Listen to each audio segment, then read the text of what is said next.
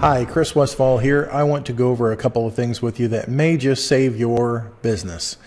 Rather than having you lose your license, paying big fines, or just being suspended by the Department of Insurance, which does enforce CMS guidelines as it pertains to Medicare Advantage marketing.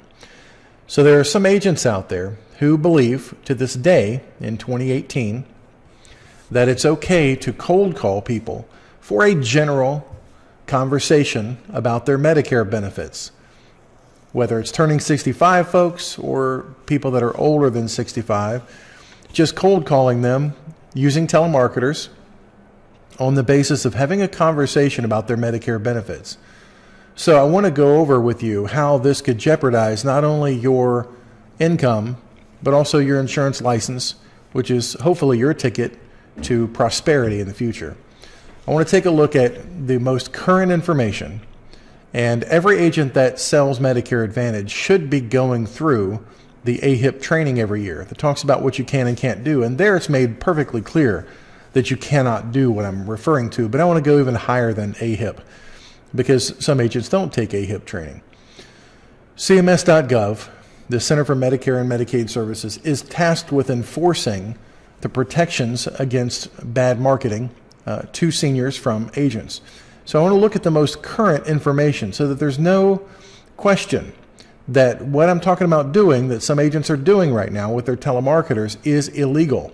It is against the law. Let's look real close at two different things. First of all, I want to look at a document that's a, a handy guide that's given out do's and don'ts for agents from CMS. I'm going to zoom in here real quick, and then I'm going to look at the 2018 law as it pertains to the calendar year 2018. Came out July of 2017. But first, agents are prohibited, and don't be caught doing the following. You cannot state that you're from Medicare or use Medicare in a misleading manner. Had an agent the other day ask me if it was okay if he called somebody and said, Hey, I'm from the Medicare Enrollment Center. Bad idea. That's a potential CMS violation and Social Security violation because it's under the Social Security Act that you can't use the word Medicare in a misleading manner. All it takes is one complaint to be found guilty there and lose your license potentially or pay a huge fine. For example, you cannot state that you're endorsed by Medicare or calling on behalf of Medicare or that Medicare asked them to see if they're a beneficiary. I know agents who have done this don't do it.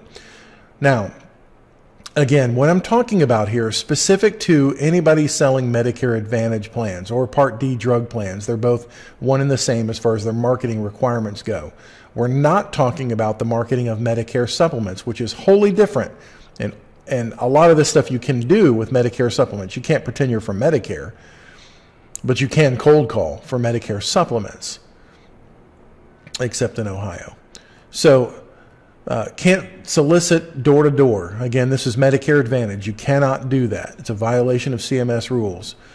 You cannot send unwanted emails, text messages, or leave voicemails for Medicare Advantage. You cannot approach people in medic in common areas. What they get away with that in, in pharmacies with a loophole there. But here's what I want to skip down to. You cannot make unwanted calls, including contacting people with Medicare, under the guise of selling a non Medicare Advantage product and allow the conversation to turn into Medicare Advantage. This is pretty clear, folks. An example an agent cannot begin by selling a Medicare supplement plan and then turn the conversation into Medicare Advantage. Some agents are still under the, the old rule thinking that as long as you're knocking on the door or you're calling on the phone, and your intention is to go in there on Medicare supplement, that you're okay. That, hey, you know, they just drove the conversation into Medicare Advantage. I'll set another appointment, I'll write a scope of appointment up, and I'll be okay. What you don't remember is that Medicare is going to do an audit. One day it's coming, and they're going to ask you how you got all these people. And if you say, and I've seen agents do this and they've lost their license, saw it a lot in Florida where it's all Medicare Advantage. They'll do all these kinds of things to get in there, turning 65, knocking on doors, calling, say, Oh, I'm talking about Medicare supplements because it's legal to do this for Medicare supplements. And then all their sales ended up coming from telemarketing or door knocking. So, this is a nice thing from CMS saying do's and don'ts. Don't do this. So, let's go over to today's regulation.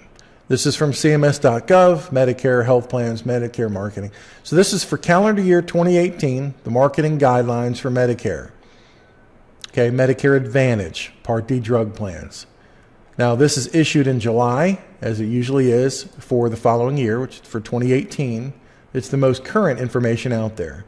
I'm going to skip down to the agent part. This talks about plan sponsors, Part D drug sponsors, and all that. But this is specific to insurance agents, not the sponsors. Let me zoom in here.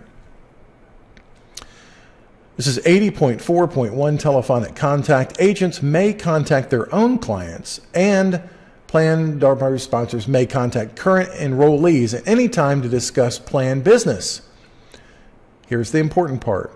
Prohibited telephonic activities include, but are not limited to, the following prohibited bait and switch strategies, making unsolicited calls about other business as a means of generating leads for Medicare Advantage plans. Even you can't call based on referrals for Medicare Advantage.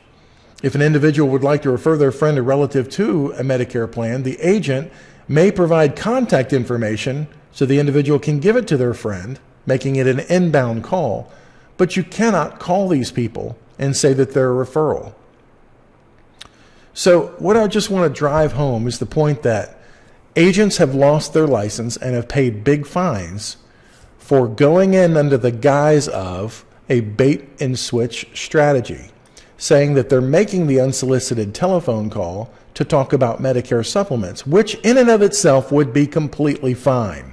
Would be fine, except in Ohio, where they say you can't call on any Medicare plans over the phone. But everywhere else, you're fine calling cold calls with, with a Medicare supplement. And we have telemarketers in the Philippines that do that all the time. Great.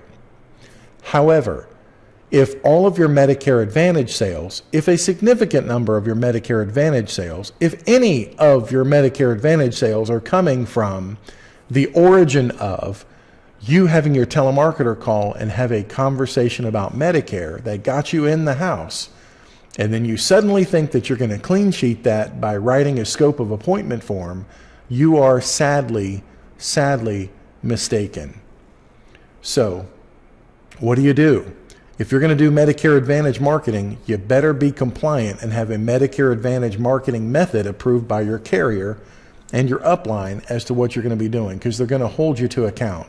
And not only can you lose all the revenue that you made, but you could pay huge fines and lose your future income as a result of having a flawed marketing strategy. Now, we are all about using cold calling for Medicare supplement sales, using online lead strategies, using direct mail still works. It's very, very expensive. Using seminars, door knocking for turning 65. If that's your boat, go for it for Medicare supplement business. For Medicare Advantage, just want to be crystal clear as of 2018, it is illegal. Now, this may change in the future, and if so, I'll take this video down, and that's great if they let us do Medicare Advantage marketing the same way they do Medicare supplements. But there are inherent risks with allowing a senior to sign up with something with just the stroke of a pen on Medicare Advantage that lends itself to unscrupulous marketers out there who will do anything and everything to get in front of seniors to give them that pitch. Therefore, CMS put these extra rules in place to protect the seniors from unscrupulous marketers. And the best thing we can do is go by these guidelines. If you're going to go Medicare Advantage, that's fine. Just do it legally. If you're going to do Medicare supplements, the world is your oyster. Marketing's wide open. But don't use one for the other because you will get caught. You will pay a very significant price to include maybe losing your income in the future, your ability to make money in the future. So I just want to encourage you plenty of ways to do marketing legitimately and, and go for it, do them. But what you should not do at any point is what's wrong. Because if you get your business based on a premise of doing the wrong kind of marketing early, it's hard to get out of it later. It just becomes too easy. And you think you're outsmarting the system, you're not. Uh, we talked today with a couple of uh, compliance departments with these carriers, the, the biggest ones out there, and they said they will drop you in a heartbeat if they find out this is what you're doing. So you might want to check on that. Check with your carrier and say, hey, if I happen to be on a cold call for Medicare supplement and the conversation just drifts over, you might be opening yourself up to an audit and they're going to find out and expose your marketing strategy for getting that Medicare Advantage business.